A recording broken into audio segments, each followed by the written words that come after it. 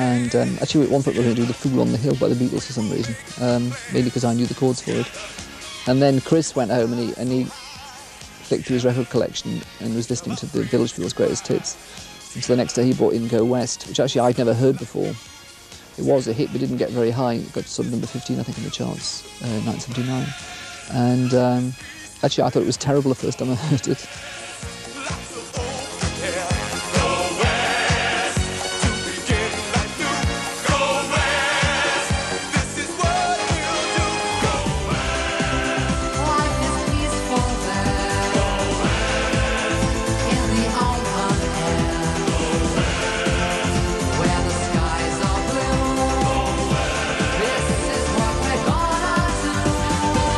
Sort of represented that gay dream of moving from New York to San Francisco and the whole way of life you had, everything would be perfect. So on one hand, you know, Go West is a sort of a disco frolic. And on the other hand, I think it has a rather moving side to it.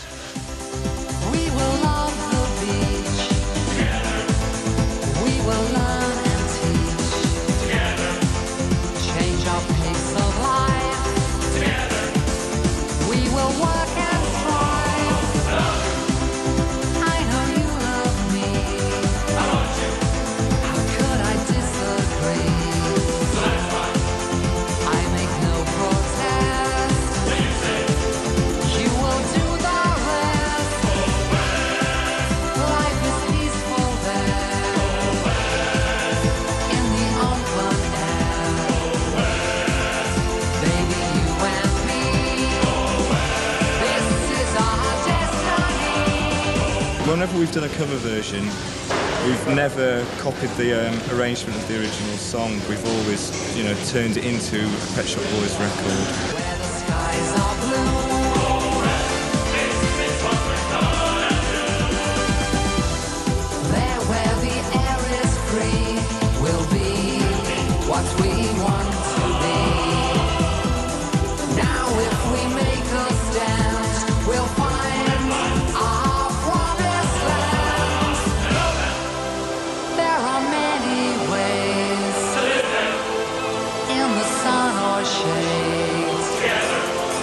We will find a place. where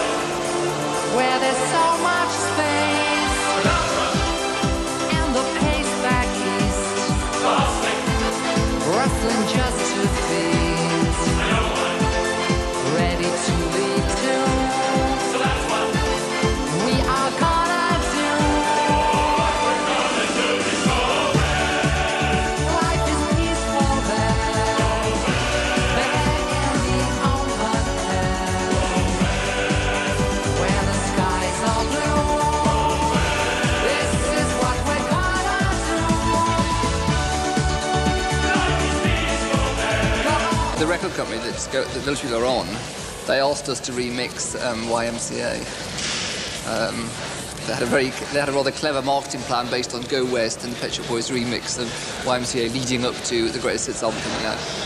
Um, but actually, I thought we personally thought the original version of YMCA was, was so good anyway. Why, you know, why sort of spoil it really?